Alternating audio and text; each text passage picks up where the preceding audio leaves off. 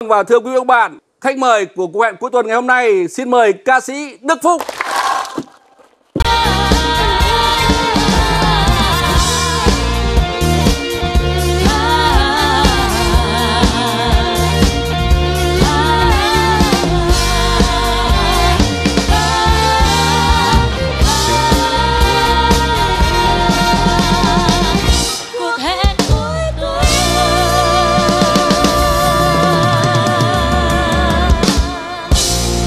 Xin uh, chào Đức Phúc. Dạ. Ừ. Lời đầu tiên cho xin gửi lời chào đến chú Long Vũ và tất cả các à, anh chị em, các cô chú ban nhạc à, ngày hôm nay. Hôm nay con rất là vui khi được à.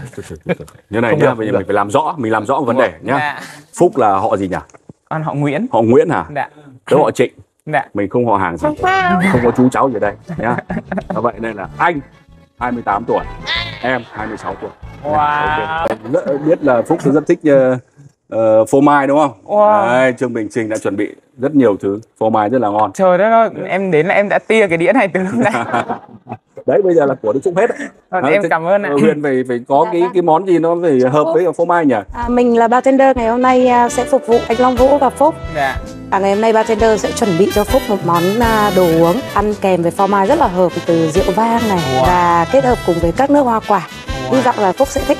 Dạ, cảm ơn chị. Ok. Còn ly của anh thì à, vẫn như mọi khi. Vẫn như mọi khi. Vâng, tóc gió thôi bay anh nhá. ok. Dạ vâng. Món, món quen rồi đúng Dạ không? vâng ạ. Ờ, nếu như có một cái sự gọi là tự giới thiệu về mình thì ờ, Phúc sẽ giới thiệu thế nào đây? À, em tên cả họ cả tên là Nguyễn Đức Phúc.